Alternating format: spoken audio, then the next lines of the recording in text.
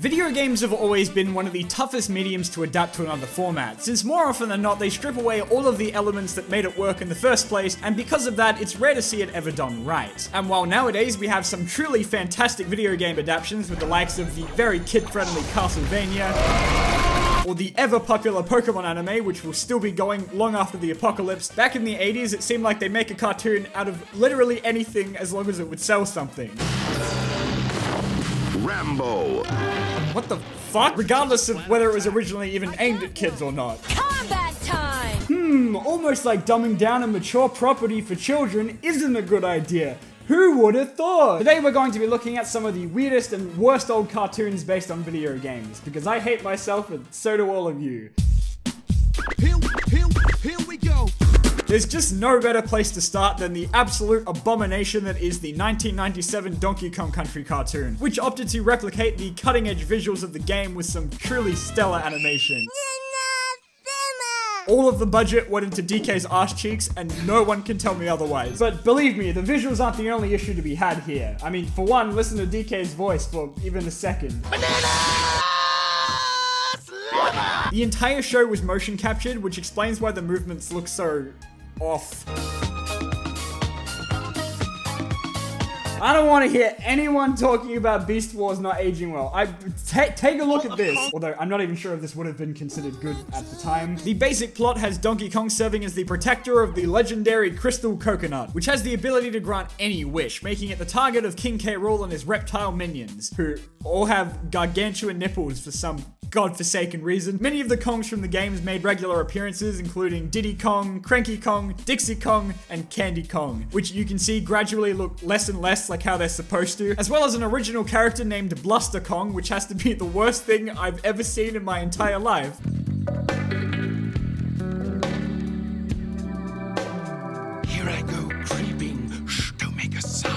And they made 40 episodes of this. How? How is that even possible? Is there something you should tell me, big buddy? Oh, and did I also mention it's a musical? Two songs an episode, in fact.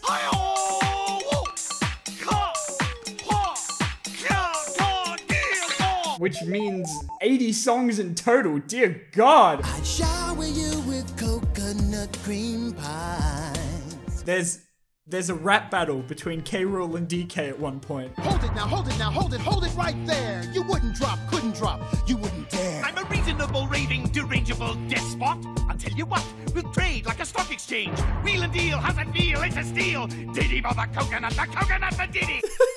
How is this real? Every time I watch a clip of the show, I'm still trying to convince myself that I'm not having a stress-induced nightmare. I'm Candy Kongs, we look like we're Ah, I don't want to look at it. It's disgusting. An absolute zero. I'm nobody's hero. This show speaks for itself, really. There's not much else I can say about it. So I won't. Captain N the Game Master. Now here's a show that on paper sounds absolutely incredible. Some kid named Kevin who does nothing but sit inside playing video games all day gets sucked into his TV and is transported to Video Videoland. Ah! A place populated by game characters galore from various popular NES titles. There he's told he has to become the prophesized Captain N and team up with Simon Belmont, Mega Man, and Kid Icarus in order to stop the evil forces of Mother Brain. That sounds awesome. So, what the hell happened? Not a single one of the characters in Captain N looks even remotely like their game counterpart. It's actually a challenge to try and identify who the actual fuck this is meant to be. Mega Man, you fought bravely and well. a pleasure to serve you, your worship. What? Mega Man, what did they do to you? So yes, this thing is Mega Man, that is Simon Belmont, and uh, I will never in my life understand the logic of, hey, this design is really successful and everyone loves and recognizes it. Let's completely redo it. I mean, I can understand the sake of wanting the show to have a unique look, but I mean, what the hell is that? Oh my god, what do they do to Mother Brain? it won't be long before I, beautiful goddess that I am, become queen of on land. Samus isn't even in the show. Why did they do this? In the second season, a literal floating Game Boy named Game Boy joins the main team, and if that's not the most subtle advertisement in the world, then I don't know what is. Recurring villains included the Eggplant Wizard from Kid Icarus, Dr. Wily from Mega Man, the Count from Castlevania, I think, and King Hippo from, oh dear god, again with the nipple. Link, Zelda, and Ganon would also show up straight out of their appearance from the Legend of Zelda cartoon, looking oddly normal for this show. I just can't stand here and watch. Uh, no, Kevin. Link knows what he's doing. Other game characters included Mega Girl, not Roll, mm. Mega Girl, and Dr. Right. Captain N doesn't give a shit about your rules. It does whatever it goddamn wants. What should be the ultimate Avengers Endgame crossover of video game cartoons is just this really odd mesh of characters that only sort of resemble Nintendo games, which by all means still has its charms, but ultimately is just a little disappointing in the direction it decided to take. Mainly because I still can't get over the fact that someone decided that Mega Man should sound like that. That's my home.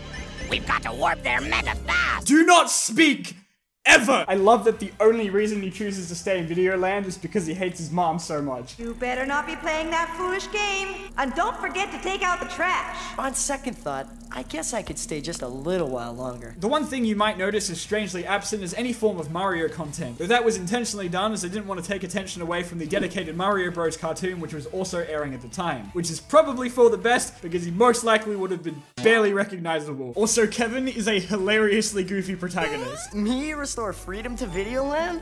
Hey, I don't even have my driver's license yet. Speaking of the Legend of Zelda cartoon, Here's the Legend of Zelda cartoon. Since the plot of the games carries over reasonably well to animated form, it's more or less the same basic premise, just extremely dumbed down. With Link and Zelda having to protect the two pieces of the Triforce from the evil clutches of Ganon, a funny pigman.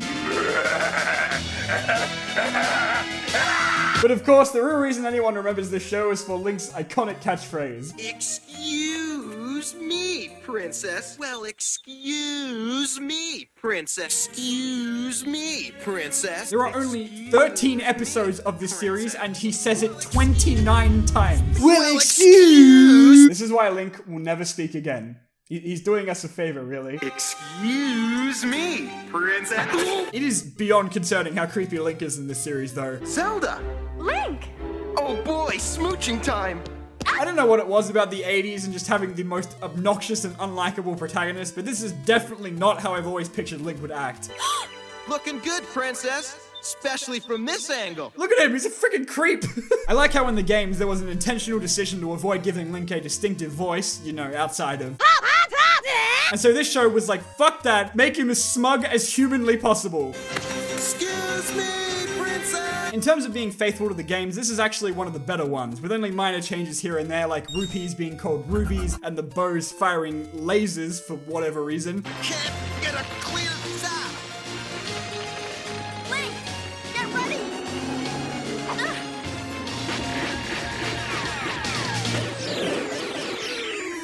Ah. Okay, that was friggin' awesome. I don't know who the hell came up with the action sequences in this show, but some of these are absolutely fantastic.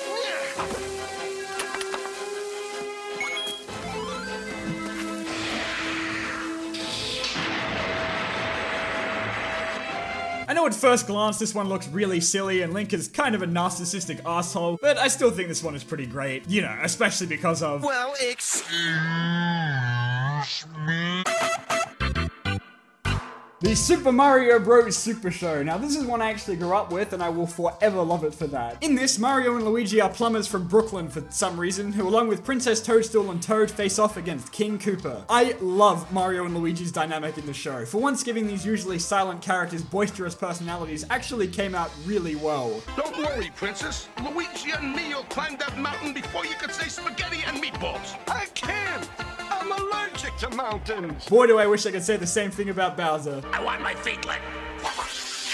This show also finally answers the age-old debate of whether Toad is wearing a hat or if that's just his head, because in this he can just tear it off whenever he wants. I very much like their interpretation of how to make the Mushroom Kingdom work in a cartoon format. A lot of enemies, power-ups, and levels are worked into the episodes, though as the show went on and they exhausted their ideas from the source material, they just centered the plot around random shit like Hercules or Jack and the Beanstalk, with Mario and Luigi thrown in there somewhere. Along with the animated adventure, each episode was accompanied by a live-action segment starring wrestling superstar Lou Albano and Danny Wells as Mario and Luigi, who are trapped in an inescapable hell along with a laugh track whenever they do anything. By the way, a little piece of spaghetti on your overalls. You, Luigi, and you have a little bit of spaghetti sauce on your shirt. and your socks don't match. They also frequently had celebrity guest appearances, but I'm pretty sure I'm not old enough to recognize any of them.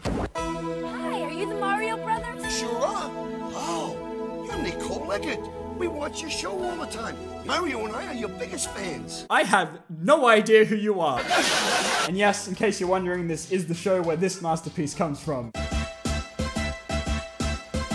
Do the Mario! Swing your arms from side to side. Come on, it's time to go. Do the Mario. Take one step. And then again, let's do the Mario. Come on now, just like that. Super Show was succeeded by two more cartoons The Adventures of Super Mario Bros. 3, because fuck 2, I guess, and Super Mario World. Mama Luigi! Both of which are automatically inferior because they don't have Do the Mario.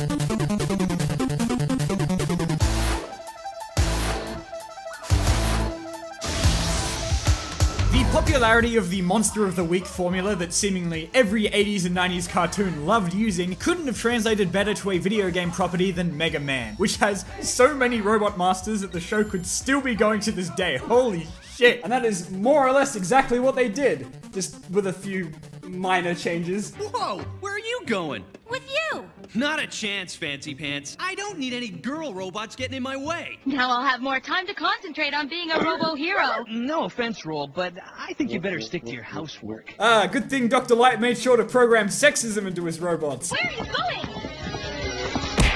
Much like Mario and Zelda before it, Mega Man is loosely based off the games, just with Rock himself being infinitely more infuriating. I'm running out of power. I'm. I'm. But hey, this one is already an improvement considering I can actually recognize him this time.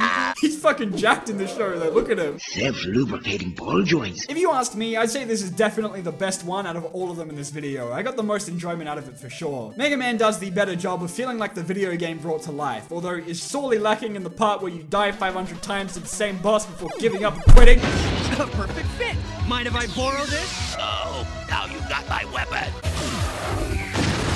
Oh my god, he just fucking killed him. I think my favorite part of the show is how much of a colossal dumbass Mega Man is at times. Now I've got your power. They also had Mega Man X show up as a separate character from the future in one of the final few episodes, who was just Mega Man but even more jacked. Oh no, he's gonna blast President Lincoln. I knew you'd risk yourself for Mr. Lincoln. Such a shame that they've never attempted to make a new Mega Man cartoon. I think it could really work if it was done right and if they don't turn it into a freaking slapstick comedy series. Hmm, wouldn't that be nice? They made a vow that mother will be back. Out of the plentiful Sonic cartoons that have come out across the years, the one that has always been an outlier for me is Sonic Underground. Sonic SatAM and Adventures? Yeah, sure. Sonic X? Hell yeah. Sonic Boom even I can understand. But what? Why a Sonic musical show where he's in a band with instruments as weapons? What? Underground says fuck you to any previously established Sonic lore and just makes up its own shit. Sonic now has two siblings, Manic and Sonia, both of which look like they were ripped straight off of DeviantArt and are part of a royal hedgehog family that had to be separated from their mother after Robotnik took over Mobius. The trio then go on a 40 episode long quest to find their mother armed with magical medallions that turn into instruments and force us to listen to a god awful song every episode. Every single one of which looks like it was edited in Windows Movie Maker. Take away our medallions, take anything you want, but Though featuring a generally darker premise, with Robotnik having already won, Underground still makes use of that classic 90s silliness, and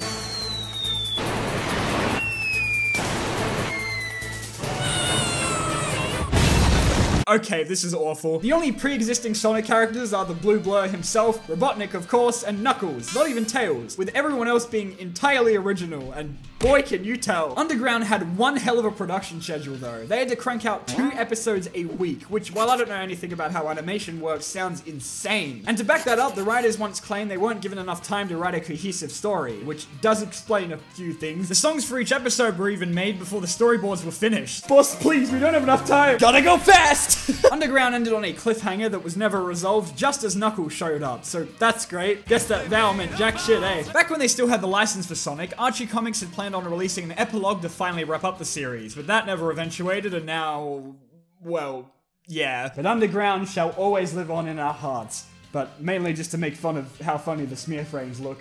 and that's about all for this time round, which means that it's time for. Ah! Today we're gonna open two letters and a box. And I cannot wait. Dear Diamondbolt, this may be crazy on how it's me again, but to be honest, I cannot stop watching your channel. It makes me happy. Anyway, here are some questions I wanted to ask you since the beginning. What are your thoughts on the Transformers Studio series Devastator? I could not care less, except for the fact that they gave it the enemy scrotum. Have you heard of the new Transformers War for Cybertron Netflix series? Yes, I'm sure it'll come out one day. If you were Michael Bay, how would you direct the five Transformers movies? Are you implying that perfection could be changed? Have you been to New South Wales? Nope. Do you know the coffin dance? Yes, it's so good. Even if it's even if it's like outdated now, I don't care. I love it. Have you heard of Space Jam? On and slam. Do you have a TikTok? no, absolutely not. I don't hate myself that much. Can you do a review on the Bee Movie, not the Bumblebee Transformers one? I think I actually, honestly, I've been considering like either that or the Emoji movie. I don't know. From Jethro. Hi, Diamondbolt. My name is Thaddeus, Thaddeus, but most people call me Thad. Thad it is. I am a 12 year old that loves video games. I have been watching your videos for a long time now. My first video on your channel I saw was Weird Australian Cartoons. It was really funny and I subscribed. When I was looking around my sketchbook, I found a Sonic drawing. I'm giving it to you. Keep up the good work and stay safe. Sincerely, Thad. Oh, ah, thanks, dude. And here is our Sonic drawing. That is great, and I love it. And last but not least, the box. it's been so long. Hi, I've realized I've never explained what these two things are. Well, these are pieces of a game I've made called Capsule Chess. Simply take the top part of the capsule. I don't remember if I told you my name, but it's Finn. Underneath the capsules are a model of you and kind of George. He looks more like epic Minecraft Steve. Doesn't he already? Anyway, Adam Senpai, you are the best waifu, and Sonic Suggests is the best Sonic game along with Sunky. Oh, that's cute. I like Marie there. God, drawing a tail Sonic Knuckles. god, I'm so immature.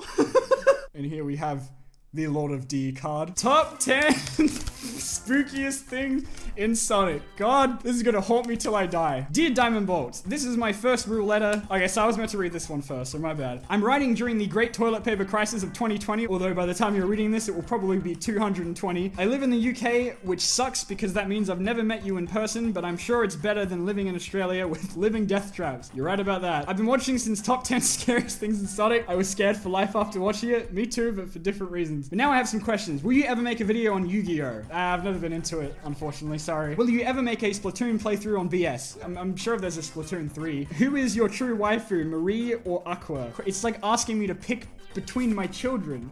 I, I love them both equally. What do you think of Gravity Falls? Oh, I absolutely love it. It's so good. Why don't you have more subs? I think I have too many subs, actually, but thank you. Thank you, dude. All right, let's check out these capsules. oh, that's so cute. Oh my god, I love these. Thank you, dude. Thank you so much. I'll open more mail next time. I have so much more to get through, so sorry about taking this long. Thank you so much for watching, and I'll see you guys next time. See ya.